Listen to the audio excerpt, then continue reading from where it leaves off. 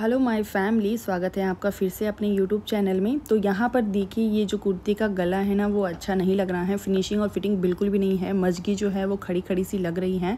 तो यहाँ पर आपको क्या करना है, एक मोटी सुई ले लेनी है, उसके अंदर धागा पिरो लेना है और उसके बाद जैसा कि आप नाड़े को डालते हैं ना, उसी तरीके से आपको इसके अंदर पिरो लेना है। ठीक है, इसमें कोई होल या कुछ बनाने की जगह नहीं होती है, बस आपको सुई से ही उसका होल करके आपको इसे जो है डालना होता है। मैंने बहुत सारी बाइसा की कुर्ती पर देखा है कि वो धागा नहीं डालते हैं, उन्हें पता भी नहीं होगा शायद तो उनका जो गला है वो बड़ा बड़ा सा दिखता है और मजगी की जो फिनिशिंग लुक बिल्कुल भी नहीं लग रही थी। तो यह सोच के मैंने ये वीडियो आपके साथ शेयर किया है। वैसे तो बहुत ही ईजी है, सबको पता है, पर ये ज़रूरी तो नहीं कि सबको पता हो तो जिन्हें पता नहीं है, उनके लिए ये वीडियो है।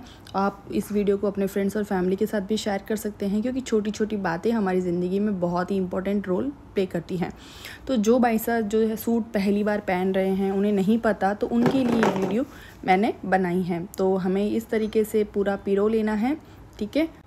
उसके बाद आपको देखना है कि आपको गला कितना बड़ा रखना है, कितना छोटा रखना है, कितना टाइट और जो भी आप फिनिशिंग देना चाहते हैं, आप इसके अंदर धागे को डाल लीजिए।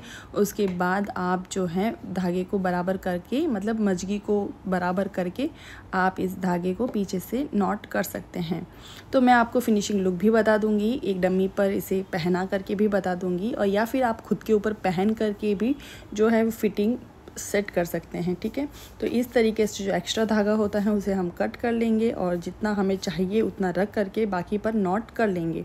तो ये जो है वो बहुत ही अच्छी फिनिशिंग आती है और बहुत ही सुंदर सा लुक जो है वो आता है। आपको कम या ज़्यादा करने के लिए धागे को ऊपर की साइड से खींचना होगा तो हमारा जो गला है वो गोलाई में आ जाएगा और मजगी जो है वो सेट हो जाएगी।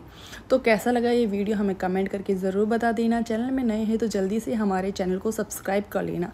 नीचे लाल कलर का बटन है, उस पर क्लिक कर लीजिए। क्योंकि मैं फ्री में टिप्स और ट्रिक्स आपके साथ शेयर करती रहती हूँ तो आपके लिए बहुत यूज़फुल है। मिलते हैं ऐसी वीडियो के साथ। Thank you watching our video take care